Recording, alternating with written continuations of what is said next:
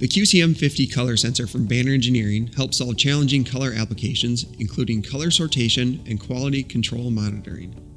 The sensor offers two different operation modes, including color mode, where a specific color is taught and a tolerance for variation of that color can be adjusted to ensure consistent product coloring, and best fit mode, where the sensor is taught various colors and will always provide an output based on the color that most closely represents the taught conditions. To teach the sensor, we will first unlock the LCD screen by pressing the Lock Unlock key for 3 seconds. We will first teach the sensor in Best Fit mode. Best Fit mode is ideal for applications where all the colors we expect are known, and is great for applications involving sorting of products based on color.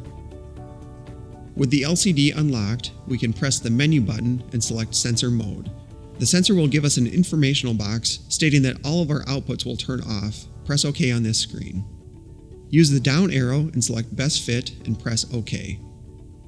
Pressing the back button now returns our sensor to run mode and we are ready to teach the sensor. I will be teaching three colors of targets as well as a background with no target present in Best Fit mode. With the first target in front of the sensor, I press and hold the teach button for 3 seconds. Successful teaching of this target is indicated by both the green and orange LEDs flashing.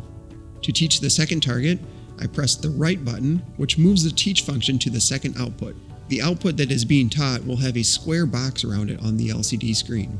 Now with this target under the sensor, I press and hold the teach for 3 seconds, again looking for confirmation flashes from the sensor's LEDs. I repeat this step for target 3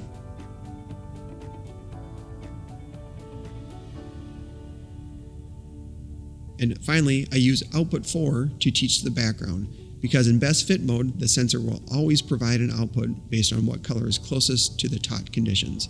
With these four taught conditions, we can see the LCD providing indication of what output is active when I move the target in front of the sensor.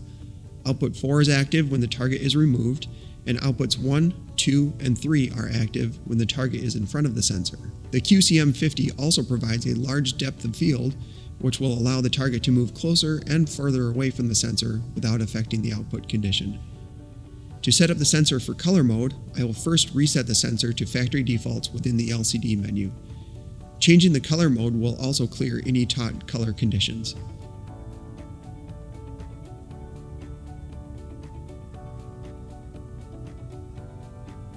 When using color mode, the sensor is taught a specific known good condition and a tolerance for variation can be adjusted from that specific color, allowing applications involving quality control based on color to take place.